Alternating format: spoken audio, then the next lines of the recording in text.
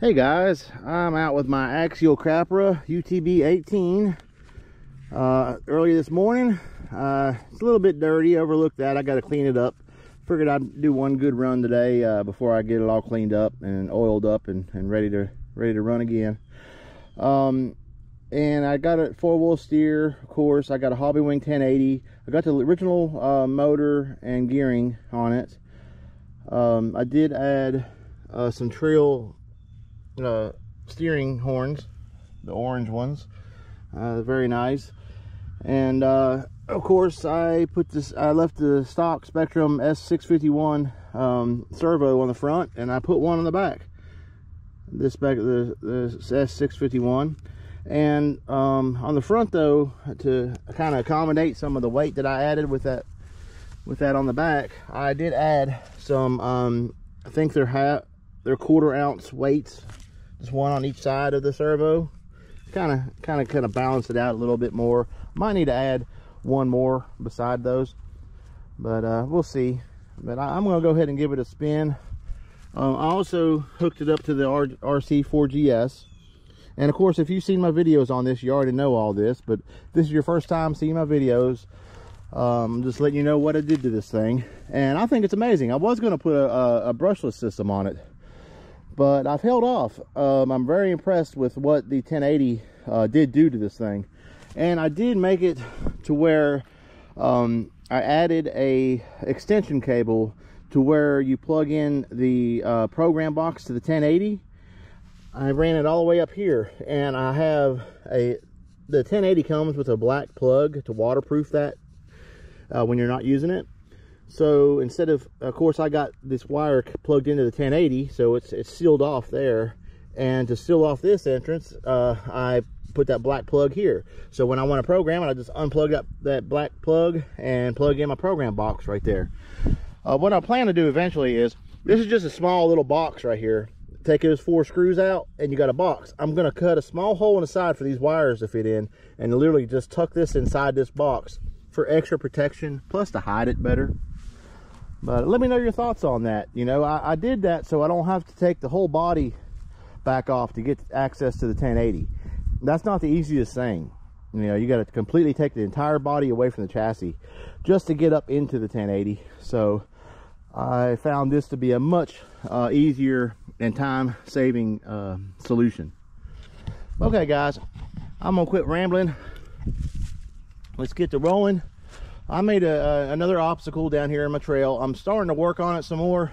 So in the future, you'll see a few more um, little obstacles I can crawl over, you know, for better testing.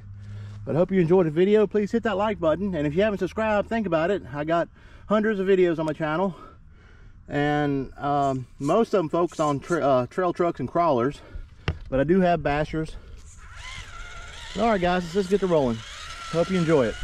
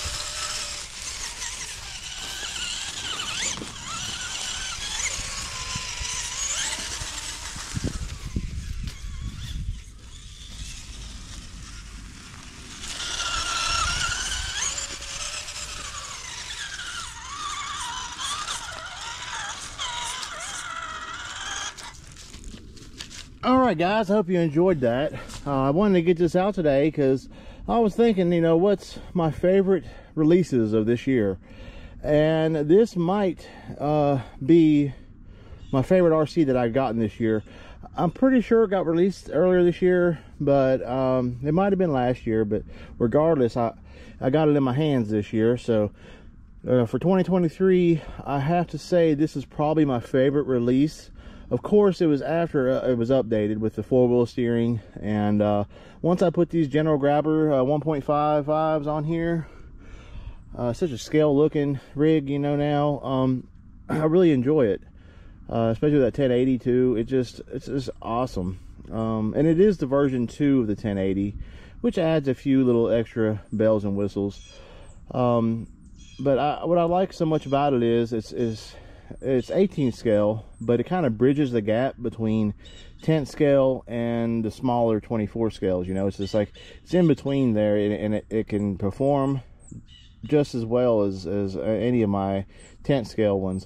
Uh, it might struggle a little bit here and there, but very seldom. Uh, it, it so it will outcrawl some of my 10 scale RCs. So um, and I just really awesome. Uh, I really like it. I've always liked Capras anyway, and I've always want to get my hands on one. I really like that four wheel steer version they, they they got out. You know, and it was a it's a pretty pricey RC. Um, so I kind of wanted to imitate that with this version, you know, and, and I wanted to, I, I might like this version better. Even if I had that 10 scale version, I just like the size of this. Easy to maintain, easy to, to carry around. And I did change the battery out to a larger um, LiPo. I got a, obviously a 2, 2S 1600 milliamp hour 30C there. Um, and uh, it seems to work great. I get really awesome run times. Of course, I have four of those batteries, so I don't, I'm not worried about run times at all. But this thing performs so great. I mean, even out of the box, it performs really, really well. So just let me know your thoughts on, on this RC. And, uh, and, and, if you like what I did to mine here. And, uh, and hit me up in the comments. And hit that like button too if you like this video. And as always, guys, Thanks for everything.